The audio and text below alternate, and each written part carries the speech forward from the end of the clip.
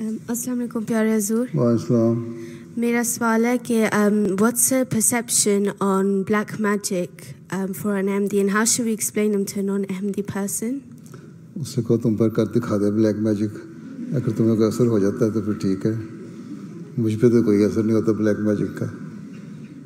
سر یہ جو ہے نا کمزور ایمان کے لوگ انہوں نے لوگوں کو بیوقوف بنانے کے لیے، کمزور ایمان کمزور ایمان والوں کو بیوقوف بنانے کے لیے پیروں، فقیروں نے ایک بلیک میجک کا کانسیپٹ پیدا کر لیا ہے اور پھر ٹریڈیشنلی بھی یہ ہے، افریقہ میں بھی ہے، عربوں میں بھی بعض دفعہ ہے۔ تو یہ جو جاہل اگنورینٹ لوگ ہوتے ہیں نا، ان کے لیے ایک ڈرانے کے لیے، اپنے پیچھے لگانے کے لیے، اپنی باتیں منوانے کے لیے ادروائز کوئی بلیک میجک نہیں ہے۔ تم اپنے کو کہو، مجھے کر کے دکھاؤ میرے پہ۔